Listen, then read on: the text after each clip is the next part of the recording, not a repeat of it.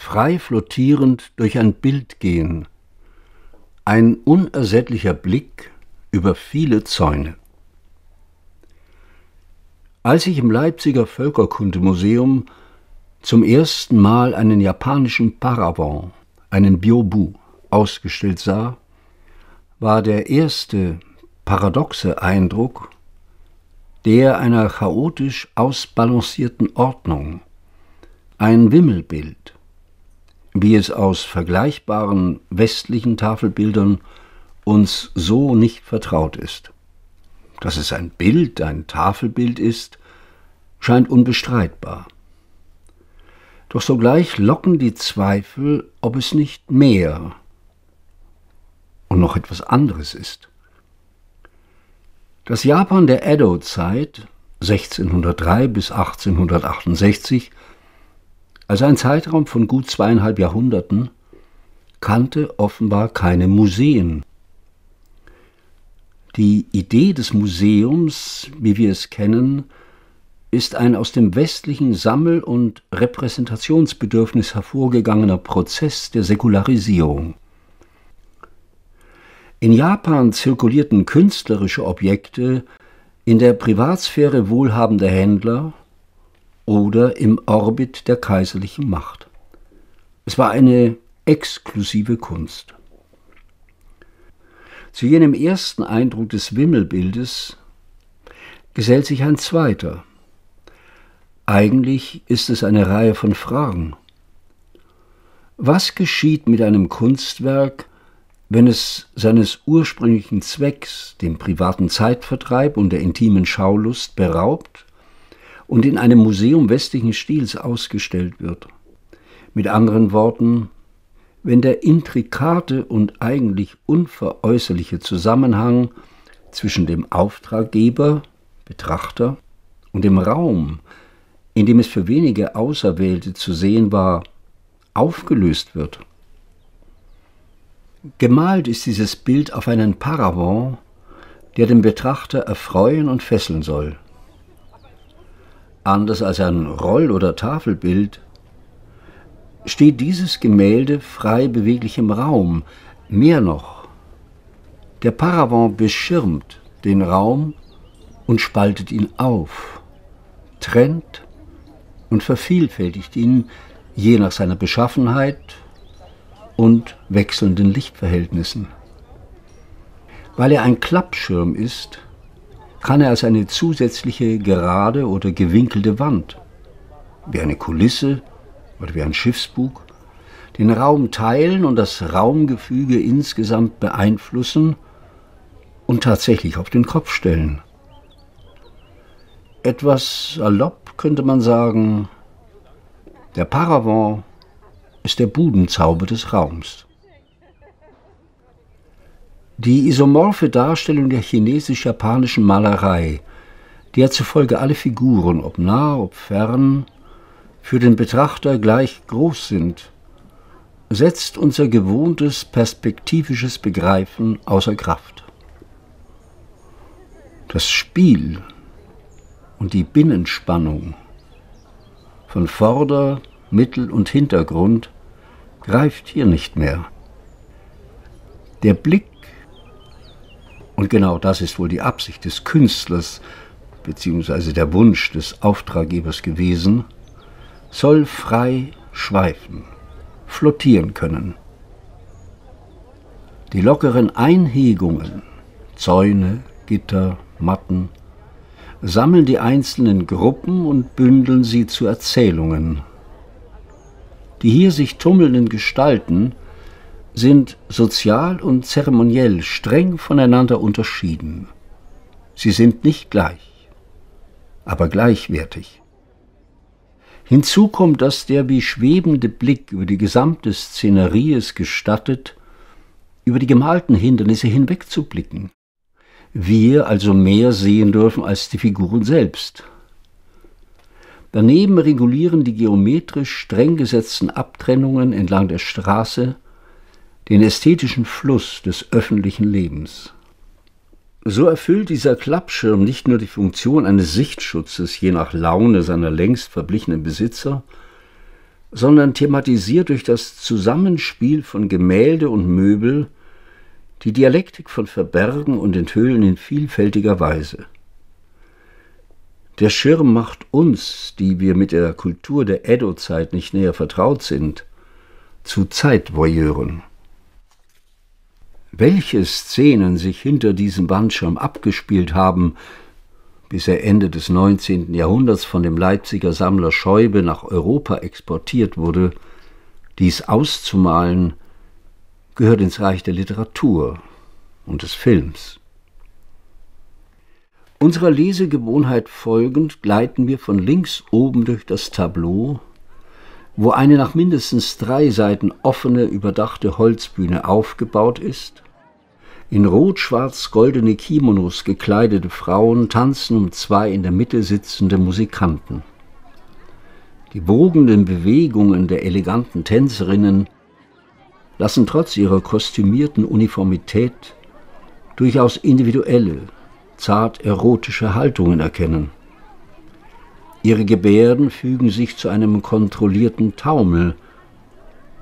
Sie genießen ganz offenkundig das Rondo ihres Auftritts nicht minder lebensnah, sind die um die Bühne Versammelten. Sie sind nur teilweise Zuschauer. Einige scheinen das Spektakel nicht groß wahrzunehmen, sondern verschaffen sich, nicht unähnlich den ausschweifenden melomanen Besuchern der italienischen und französischen Opernhäuser des 18. Jahrhunderts, eigene Showauftritte in diesen prächtigen Rahmen. In diesem Ausschnitt, der wohl ein damals noch von Kurtisanen gespieltes Kabuki-Theater darstellt, verblüfft die Dichte der Diversität, die Vielfalt der einzelnen Verrichtungen und Auseinandersetzungen. Fast scheint es, als ob das Geschehen, die Erzählungen, die Fedivers und Anekdoten vor der Bühne eine größere Bedeutung haben als das Theater selbst. Der anonyme Künstler dieses Paravents kennt ein erstaunlich weit gefächertes Repertoire an rituellen Handlungen und Belustigungen.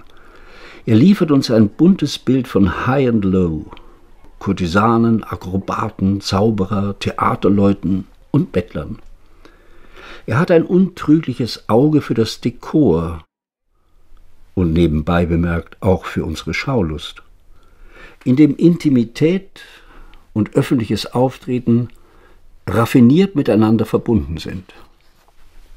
Es sind Handreichungen, Libationen, zeremonielle Gesten und Auftritte, Verbeugungen, Huldigungen, spielerische Attacken und diskret verhüllte Verehrungen, die hier dicht an dicht stattfinden. In einer räumlichen Abfolge, die aber ebenso gut als eine zeitliche vorgestellt werden kann. Nicht zufällig hat die japanische Spielform des Comics, eine zeitraffende Bilderserie, das Manga, bereits im späten 17. und 18. Jahrhundert seine ersten virtuosen Auftritte gehabt, ein Genre, das bis heute lebendig geblieben ist. Lenkt man seinen Blick auf den im Paragraph oben rechts gelegenen Ausschnitt, fällt das raffinierte Zusammenspiel von musikalischer Präsentation und Puppenspiel auf. Der Zugang durch zwei Türen scheint, wenn nicht verriegelt, so doch mit einigen Auflagen verbunden zu sein. Nicht minder bunt setzt sich das Treiben auf der unteren Bildhälfte fort, gewissermaßen auf der anderen Straßenseite, die mit neuerlichen Einhegungen lockt. Aufschlussreich für den interessierten Laien, als welchen ich mich betrachte, ist der Hinweis auf den verborgenen, machtpolitischen Kontext eines solchen Bildes und des Objektes selbst. Timon Screech, der sich seit Jahrzehnten intensiv mit der Kultur der Edo-Zeit befasst, analysiert ein dem Leipziger Paravent sehr ähnliches Gemälde derselben Straße in Kyoto am Ufer des Kamo. Screech schreibt Die Stadt der Arbeit selbst wenn sie nach getaner Arbeit zur Zeit der Muse gezeigt wird, ist nicht mehr zu erkennen. Das zeitgemäße Amüsement wird hier zelebriert mit seinen neuesten Trends, mit aktuellen Errungenschaften und Zerstreuungen, wie es sie bis dahin noch nicht gab. Man weiß nichts über die Schöpfer dieser Paravents. Sie sind durchgehend gut und kostspielig gemalt und offenbar für wohlhabende Besitzer gemacht, vermutlich reiche Händler, die aber von der Macht ausgeschlossen waren, insofern sind sie populär. Sie zeigen überwiegend Kuriositätenschauen, Theater und Tanz. Ganz im Gegensatz zu den Handrollen, welche das geschäftige Treiben in sauberen Straßen darstellen. Die starrsinnigsten Herrscher wollten derlei ausrotten.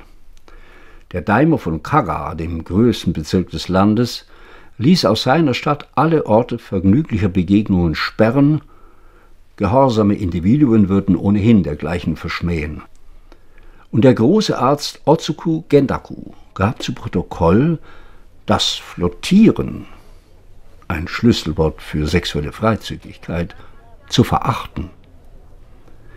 Die Politik des Shogunats, also der kaiserlichen Macht, und der meisten Daimyo war es aber, Spaß und freizügige Beziehungen zu erlauben, diese aber an Orte außerhalb des gewöhnlichen Verkehrs zu verlegen, wo sie nur danach ein weiteres Schlüsselwort zugänglich wären. Die Bilder zeigen genau diese Verschiebung, in denen Gehorsam der Zeitvertreib von der Arbeit abgetrennt wird und somit auch die ganze Stadt und die städtenshogunale Macht gezeigt werden müssen. Die Formulierung spätere Vergnügungen war chinesischen Ursprungs. Chinesisch Hule, japanisch Koraku und wurde nach Japan von einem emigrierten Gelehrten der Ming-Zeit eingeführt. Er nannte auch den Vergnügungspark eines hohen Daimos, der direkt außerhalb von Edos Zentrum angelegt war, den Garten der nachträglichen Vergnügungen, Korakuen. Ein derartiger Zeitvertreib war erlaubt, wenn bestimmte formelle Verpflichtungen erfüllt und die alltägliche Arbeit verrichtet waren. An bestimmten Orten jenseits der Arbeitsstätten wurde dies zugelassen. Die Zeit danach durfte vielfältig genutzt werden. Man konnte sich sexuellen Ausschweifungen mit Freunden hingeben. Die Wandschirme hingegen zeigen öffentliche, für alle zugängliche Orte städtischer Frivolitäten. Dies nannte man die flottierende Welt, Floating World. Besser noch, da es immer mehrere davon gab, flottierende Welten, Ukiyo. Moderne Historiker verwenden die Metapher des Sicherheitsventils. Erhöhter Druck ist dann zulässig, wenn er wieder entlassen werden kann. Die Menschen der Edo-Zeit hatten ihre eigenen Analogien, um die flottierende Welt zu beschreiben. Ein Fisch, so sagten sie, kann in reinem Wasser nicht leben.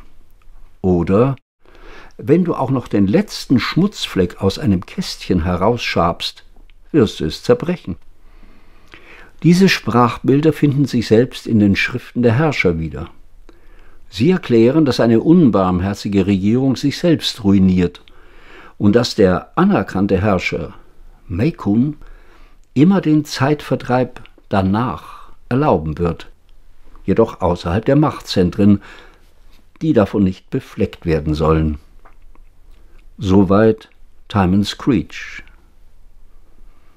Im Licht dieser Beschreibung zeigt das Leben und Treiben, wie es auf dem Paravent dargestellt wird, nicht so sehr städtisches Leben, als vielmehr dessen verworfenen Teil, den Blick hinter die Kulissen der züchtigen Stadt. Es ist ein Trompe-l'œil weniger der Kunst als des sozialen Lebens. Das Geheimnis dieses Paravents wird nicht gelüftet, weil der private Raum, den er einmal verhüllte, uns für immer entzogen ist. Das Museum birgt dessen Hülle für unsere Schaulust.